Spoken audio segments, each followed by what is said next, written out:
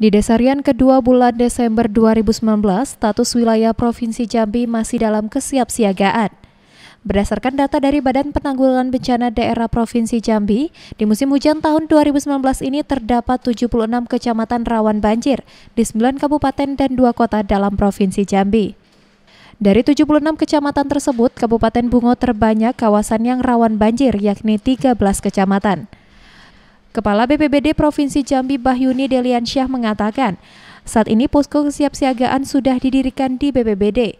Jika nanti ada kabupaten yang menaikkan status dari kesiapsiagaan menjadi siaga darurat dan longsor, maka status Provinsi Jambi naik menjadi siaga darurat dan longsor. Bahyuni menegaskan, saat ini terdapat satu kabupaten yang ketinggian air mencapai 13 meter atau masuk pada level waspada 4 yakni Kabupaten Tebo.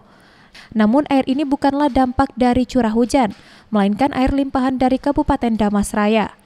Untuk itu dirinya mengingatkan kepada warga di daerah tepian Sungai Batanghari untuk mewaspadai tumpahan air tersebut. Yang tinggi air itu ada di Kabupaten Tebo, tetapi itu bukan karena curah hujan yang tinggi, tapi itu limpahan dari Kabupaten Damasraya yang berapa hari kemarin itu terjadi banjir, airnya masuk ke Tebo.